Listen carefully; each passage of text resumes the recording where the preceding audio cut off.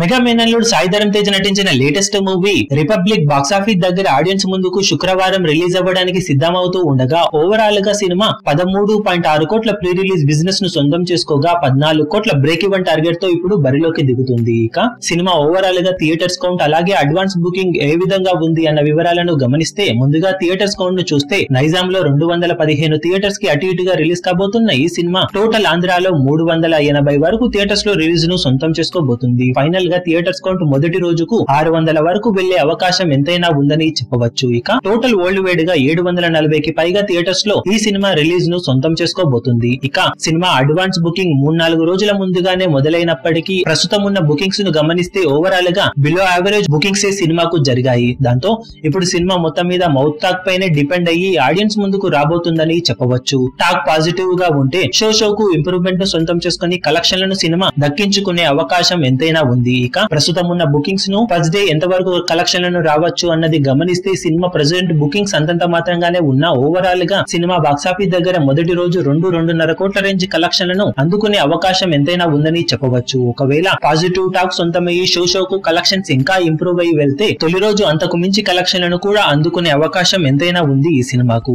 మరి సినిమా మొత్తం మీద ఎలాంటి టాక్ను సొంతం చేసుకుని ఫస్ట్ డే కలెక్షన్ల రూపంలో ఎంతవరకు వసూలను సాధిస్తుందో చూడాలి. మీరు సినిమా ఫస్ట్ డే ఎలాంటి కలెక్షన్లు సాధిస్తుంది అనుకుంటున్నారో కింద కమెంట్ సెక్షన్లో చెప్పండి.